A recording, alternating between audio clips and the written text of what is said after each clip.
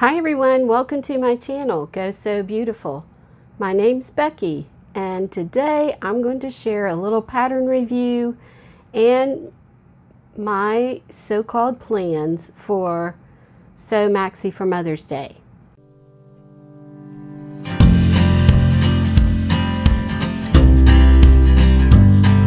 For those of you who are new to my channel, I appreciate you stopping by to check it out. I hope you'll um, find it interesting and encouraging and inspiring you to sew. And for those of you who have already subscribed, I really appreciate you coming back. It really, um, I love reading your comments and interacting with you. So um, keep coming back and um, I will try not to disappoint. All right, so what did I do this week? Well, I made a blouse for the Sew April Blouse 22 challenge hosted by Kristen from the Dahlia Society and I think it's Gabrielle from Cloth Edit. And I decided to make the Love Notions Rhapsody blouse. I'll put a picture of the um, pattern up for you and it comes in um, very wide range of sizes. Um, I'll put that up on the screen as well.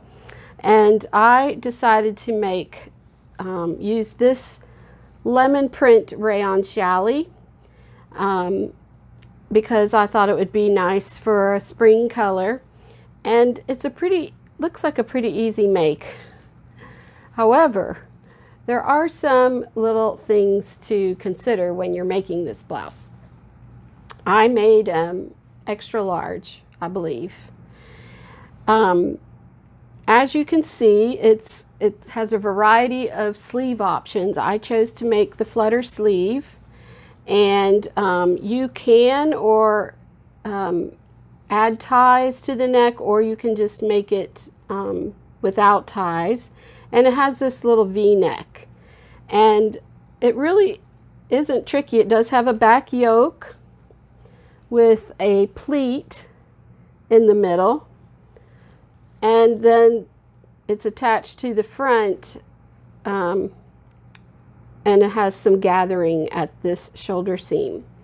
Now putting it together was no problem. The difficulty was with the binding that goes around the neck edge.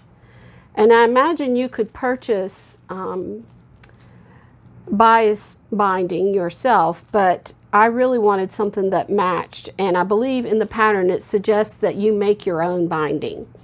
And it suggested two widths. One was using strips that are one and a quarter inches wide, and then the other is strips that are one and three quarter inches wide. Well, I wanted narrow seam binding, so I chose the one and a quarter inch and used my little bias tape maker, um, which looks like, let me see if I have it here. I got a pack of four of these from Amazon and I think I used this yellow one. Anyway, making the bias tape was no problem. I applied it to the neck edge, sewing the right sides together, and then I folded it to the inside. And this was the part that gave me fits. Um, for some reason, my sewing machine didn't, well, it may need to be serviced, but the bobbin, the the underside of the stitching looked real kind of wavy, like the tension was out of whack. And I've tried adjusting tension on the bobbins before and it never works out. So, and plus the guy I take it to for repairs and service always says, don't ever worry about the bobbin tension. So the top looked fine, but the bottom looked wavy and I'll show you Here's a sample. I, I tried sewing several times and it almost looked like, I don't know if you'll be able to see this. But see how wavy that bobbin is? That bo that's the bobbin, the bottom of the stitching. And I switched sewing machines too. Here's, you can see it on that lemon. Um, it was just real wavy and I kept, so I kept unpicking it and taking it out. Not to mention the fact that it just, the edge just didn't turn over very well. So I think I unpicked it a total of four times, maybe five times. I'm pretty, uh, I guess I was a, being a little bit of a perfectionist. And not to mention that it, the thread, you know, got all, I got a bird's nest on the back of it. I'll show you a picture of that. And I thought, well, maybe I need to trim down the seam. So I started to trim down the seam and I cut a hole in the fabric, which made me even more mad. I should have just walked away, but no, I wanted to get it finished. So I just kind of stitched that up, the little hole. That's where it is. And I put a piece of interfacing on the back. And you really can't notice it when I'm wearing it. So after all that, it did come out look very nice. I think it's a little bit long on me, but it feels really um, drapey and just a nice summer top to wear. Um, here's a picture of me wearing it. I am entering it in the Sew April Blouse 22. Hosted on Instagram. And um, we'll see if it wins. But I will make this blouse again. I think it's, um, it's a nice pattern and it's pretty easy to sew. So that was probably what I worked on two or three days this week. Um, anyway, I started thinking about another challenge that's coming up called Sew Maxi for Mother's Day, hosted by T from Tumpet, Tumpet's Korean Sewing. Tump, I can't say it. Crumpets, Tea, and Sewing, and Crystal from Crystal Sews and Stuff. And I had an idea in my head, but I don't know. I just, I think I've lost a little bit of my motivation to sew um, because I've done some back-to-back -back challenges now. And, but the idea is to sew a, a bold, make a statement with either statement sleeves, ruffles, collar, or a maxi dress I believe it said dresses and skirts need to be maxi or you can have a bold print fabric. Well, I've got a bold print fabric and a maxi, although I'm not crazy about the idea of making a maxi dress because I don't know how often I'll be able to wear that. Anyway, I thought I would use this fabric, which I got last year from Melanated Fabrics. It's really pretty. And I believe it's a rayon poplin or, yeah, it's not challis, but I was afraid it was going to be like the print was going to be too big. And I read somewhere that petite women should not wear bold prints. But, you know, I don't have to follow the rules. And this print isn't that bold anyway. So here are the pattern choices I have this first one, I could make either view either the maxi dress or I could make a little jumpsuit. This is McCall's M7778 and I really like this maxi dress here but I also think that this jumpsuit might look cute too. Um, so that's one idea. I'm not sure, well,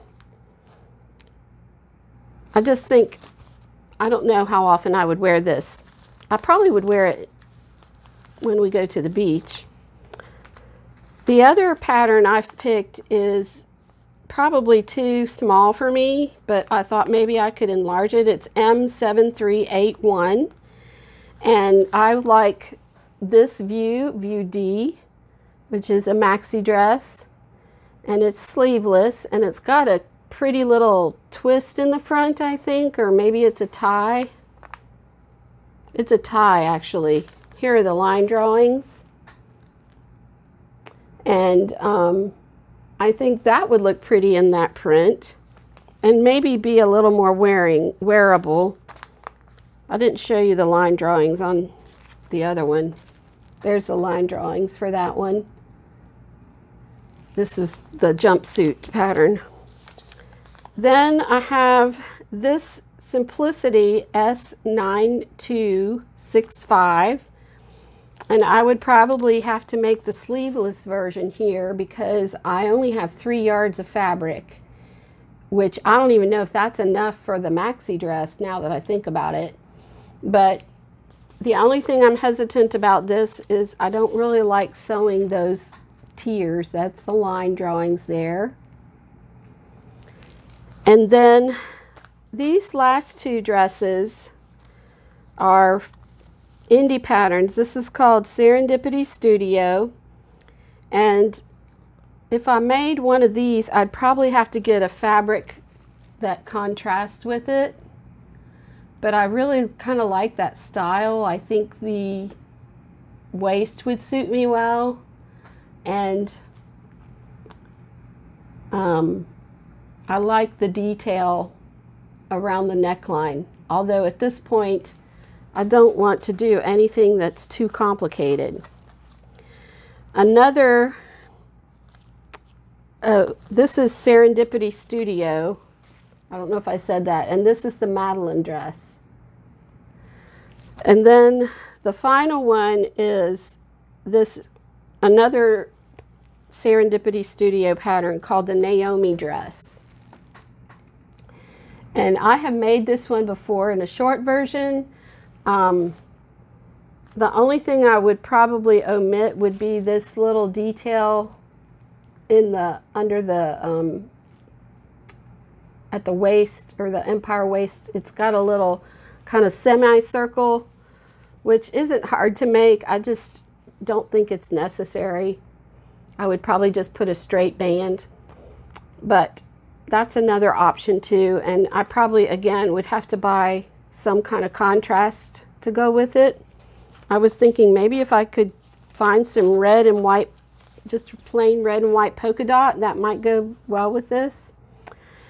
So anyway, I've, um, not real sure if I want to, I really kind of want to participate, but I'm a little low on motivation and energy these days. I'm not sure why, but with my son having a baby in the next week or two, um, I'm a little bit distracted and I just don't know if I'm going to get it done. I think I should maybe stick to some simple projects. Sew Maxi for Mother's Day will come back next year, I'm very sure, but we'll see.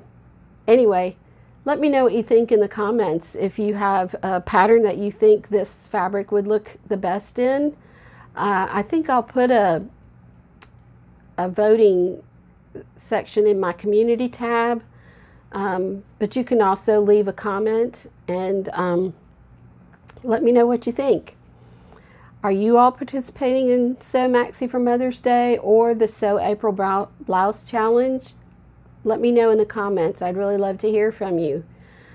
Again, I hope you've enjoyed this video. Please give it a thumbs up and hit the subscribe button if you haven't already and hit that notification bell so you'll know when I post new videos. Thanks again for watching. I hope you'll have a great weekend. Go Sew Beautiful. Bye-bye.